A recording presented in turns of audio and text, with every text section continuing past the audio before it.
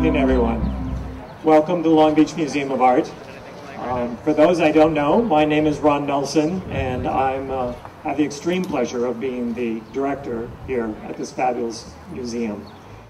After Dark is to reach out to a community that's alive and happening in Long Beach that um, has been um, kind of ignored by us in the past. And it's something that a lot of the younger people that work here uh, really wanted to uh, put it out there and go for it.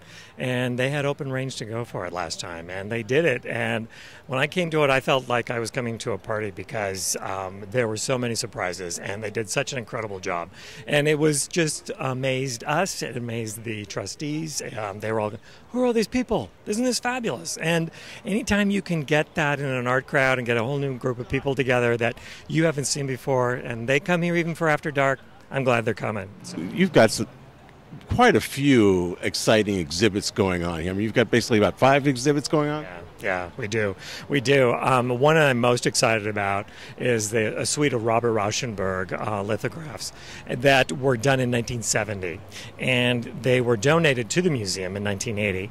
And they have not been seen together for 28 years. And we found, we knew we had them, but when we brought them out of storage, uh, it was just remarkable to open each and every one of them. And when you're in the gallery and you're reading the works, because they are lithographed with collaged uh, headlines and photographs and articles from the newspapers in 69 70. It's just amazing on how uh, how vibrant that is, especially if you lived through that and you're you're reading those now. And how's frighteningly 1970s, 1969. It's a lot like our headlines that are happening now between Vietnam and Iraq. I mean, it's pretty scary, but it's also um, um, it's quite sobering. Uh, but really exciting to have those works here. This is Long Beach's museum. It is. Why should people be a part of this museum?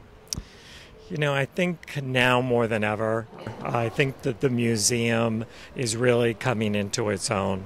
It's um, it is really trying to engage Long Beach.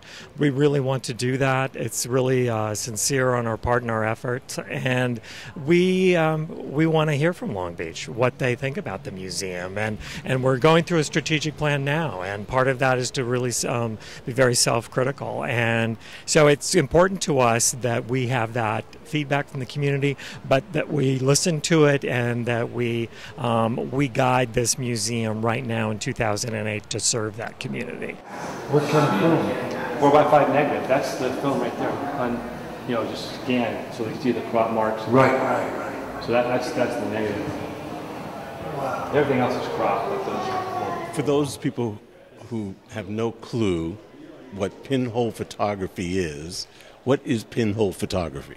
Basically, it's um, camera obscura. The, I mean, the original way of, of um, creating an image onto either a piece of uh, film or a wall. I mean, they actually can you know use it in, in a, a, room where you just black out everything, and, and, that image is projected on the wall, and that's what artists used to use to paint for perspective.